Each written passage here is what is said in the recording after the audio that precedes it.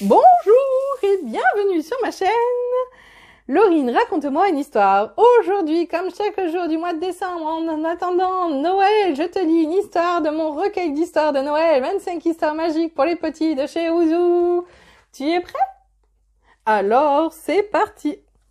Le 7 décembre, parfait. Le 7 décembre, le méli-mélo de Noël. La nuit de Noël touchait à sa fin. La lune allait bientôt se coucher pour laisser place au soleil et le Père Noël terminait sa distribution de surprises. Il se dépêchait de livrer les paquets de la dernière maison à visiter quand le carillon de l'horloge sonna à la demi de cinq heures. Le Père Noël prit peur. Nom d'une barbe blanche! Les enfants vont se réveiller! Je dois finir et filer avant qu'ils ne m'aperçoivent. Sur quoi il attrapa les paquets trois par trois et s'empressa de les installer au pied du sapin dans les chaussons des petits. Un cadeau vert pour Emma, un bleu pour Louison, un rose pour Sidonie, un rouge pour Nathan, un jaune pour Timothée et un doré pour Gustave. Il s'occupa ensuite des surprises des parents, des grands-parents, des oncles et des tantes. Puis il remonta sur le toit, grimpa dans son traîneau et entendit six heures s'égrener à l'horloge. Oh là là Déjà, le Père Noël ordonna aux reines de vite se cacher derrière un buisson du jardin. En attendant de décoller discrètement, se dit-il, autant assister à la découverte des surprises.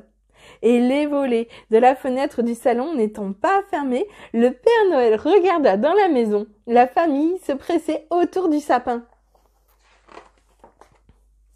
Youpi Le Père Noël est passé chantèrent les enfants devant les paquets. Et chacun se mit à ouvrir sa surprise. Derrière son buisson, le Père Noël souriait. La joie des petits le comblait, car la magie de Noël naît du rire des enfants. Hurrah!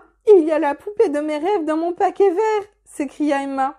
Moi, dans mon paquet rouge, j'ai le train électrique que j'avais commandé, s'esclaffa Nathan. Louison applaudit en sortant un ours en peluche de son paquet bleu et Timothée leva un poing triomphant devant le ballon que contenait son paquet jaune. Sidonie, cependant, ne se réjouit pas en ouvrant son paquet rose. Une paire de jumelles s'étonna-t-elle. Ce n'est pas ce que j'avais commandé. Sur quoi le petit Gustave brandit le cadeau de son paquet doré. Un avion télécommandé, ce n'est pas ce que je voulais. De sa cachette, le Père Noël s'affola. Dans sa hâte, il avait mélangé les cadeaux de Gustave et de Sidonie. Quelle catastrophe Il réfléchissait à ce qu'il pourrait faire lorsque Sidonie s'exclama.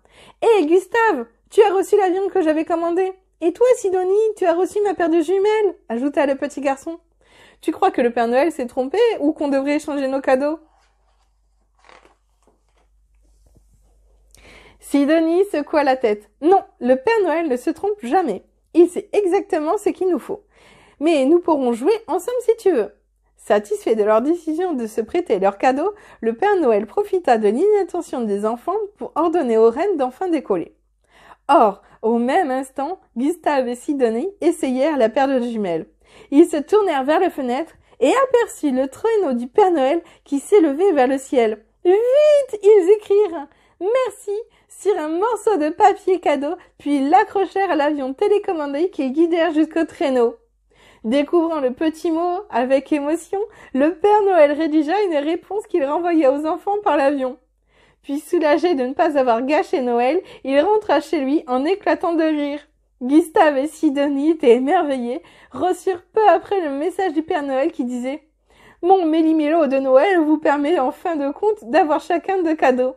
Et loin d'être déçus, les enfants comprirent qu'ils n'oublieraient jamais ce Noël extraordinaire, le plus beau de leur vie certainement. Merci. Et c'est fini pour aujourd'hui. À demain, bisous.